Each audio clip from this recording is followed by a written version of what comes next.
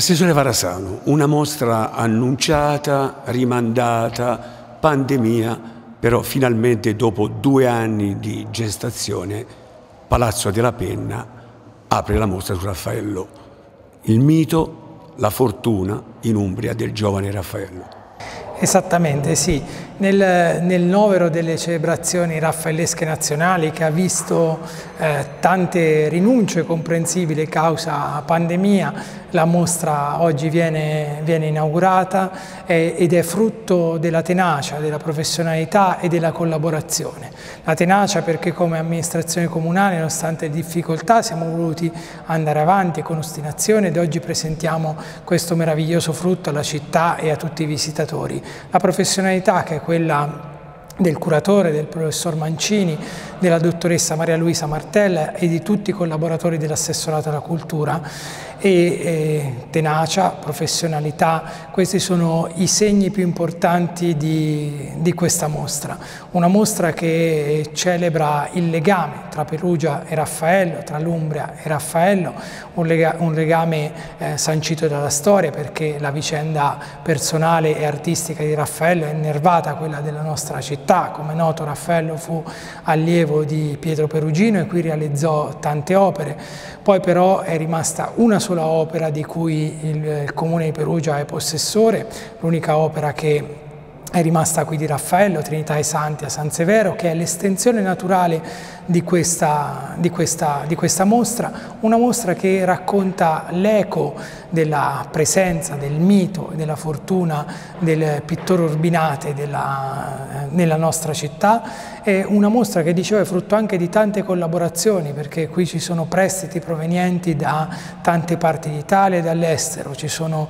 opere provenienti dall'Accademia di San Luca, dall'Accademia di Raffaello, dalla Galleria Nazionale dell'Umbria, la Galleria del, Nazionale delle Marche, da tanti comuni, il comune di Terni, il comune di Pesaro, il comune di Urbino e tantissimi prestatori privati. Quello che ne esce appunto è un racconto eh, particolarmente significativo, arricchito da tre opere attribuite a Raffaello, che appunto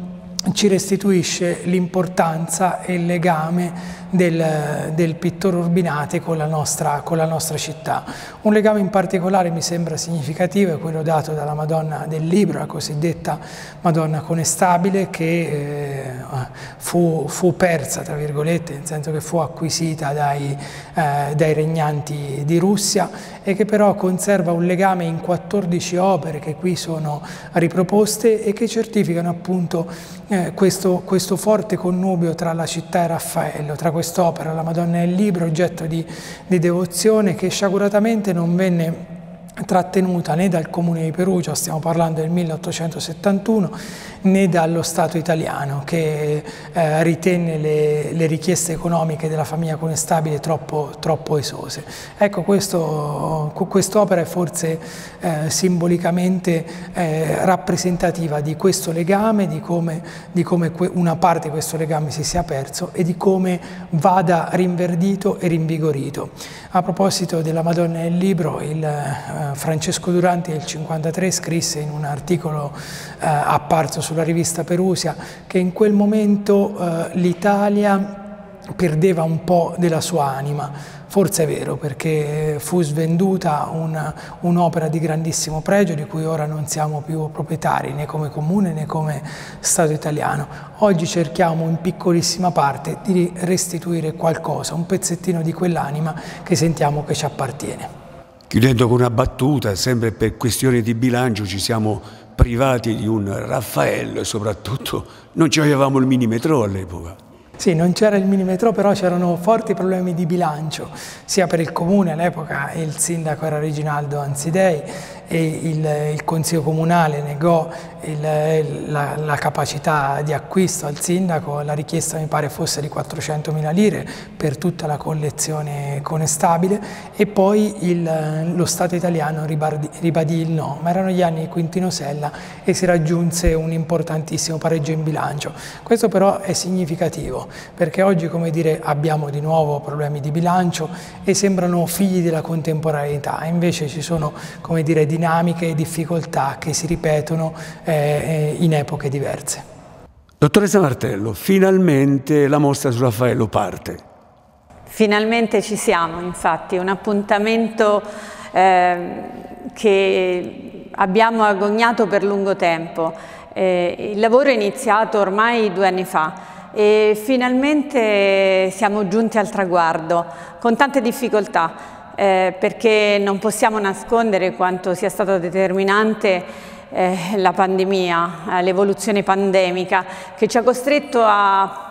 a, addirittura a due slittamenti di date. E poi ci siamo posti questo obiettivo per il 26 eh, settembre, eh, un traguardo che abbiamo voluto eh, raggiungere con impegno, determinazione, quasi ostinazione, una tale determinazione che possiamo dire il progetto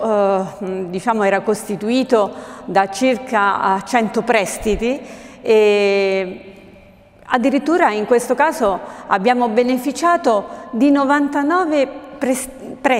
di 99 opere, eh, senza che neanche sia, ci sia stato quel normale e naturale calo fisiologico nella contrattazione con i musei o le istituzioni pubblico-private che siano. Infatti abbiamo coinvolto i maggiori musei italiani, non parliamo dei musei civici e non umbri, ma anche le più grandi istituzioni museali eh, nazionali. E devo dire che abbiamo eh, stabilito una, un rapporto e una relazione di, di, collaborazione perché eh, non possiamo negare che ci sono stati dei momenti eh, di esitazione eh, soprattutto da parte di alcuni collezionisti privati o alcuni musei, eh, proprio in relazione alle difficoltà dovute dalla pandemia. E in realtà siamo arrivati al dunque e siamo molto soddisfatti perché eh, avevamo posto questo traguardo, non potevamo non rendere omaggio al grande artista rinascimentale del quale tra l'altro il Comune si onora di eh, custodire un'opera straordinaria nella Cappella di San Severo. Eh, dunque eccoci eh, e speriamo appunto di poter beneficiare di, di, un, di un buon riscontro di critica ma soprattutto di pubblico. Vi aspettiamo numerosi a Palazzo della Penna a partire dal 26 eh, di settembre e, e, grazie soprattutto a tutte le collaborazioni, a tutti coloro eh, che a vario titolo hanno sostenuto questa eh, grande e impegnativa impresa.